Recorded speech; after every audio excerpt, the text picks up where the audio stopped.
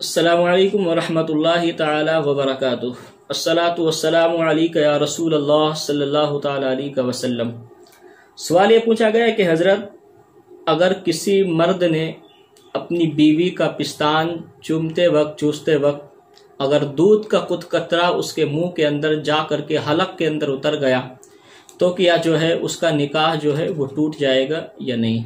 सवाल को और आसान कर देता हूँ। अगर किसी ने अपनी बीवी का दूध पिया तो क्या उससे निकाह टूटेगा या नहीं टूटेगा?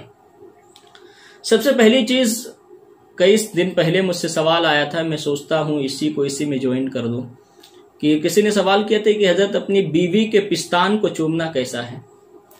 तो देखिए, बीवी के पिस्तान को चूमना बिलाशुबा जायज़ है, दुरुस्त है। कराम ने फरमाया है कि शर्मगाह को छोड़ करके मर्द अपने औरत के जिस हिस्से को चाहे वो चूम सकता है।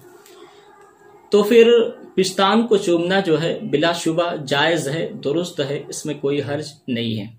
अब रही बात ये कि अगर शौहर ने पिस्तान को चूसते वक्त अगर दूध का कुछ कतरा उसके हलक के अंदर चला गया तो उससे निकाह टूटेगा या नहीं टूटेगा? देखिए, औरत का दूध पीने से शौहर का निकाह जो है, वो नहीं टूटेगा। हाँ औरत का दूध पीना हराम है और इसका गुनाह जो है, उसे मिलेगा। अगर किसी ने अपनी बीवी का दूध अगर से गलती से पी लिया है, चूमते वक्त या चूसते वक्त, गलती से अगर उसने अपनी बीवी का दूध पी लिया है तो वो एक हराम काम उसने किया है। उसे चाहिए कि वो अल्लाह की वारगाह में तोबा और इस्तफार करे और अल्लाह की वारगाह में उस गलती की जो है वो माफ़ी मांगे। लेकिन ये सिर्फ़ हराम काम है।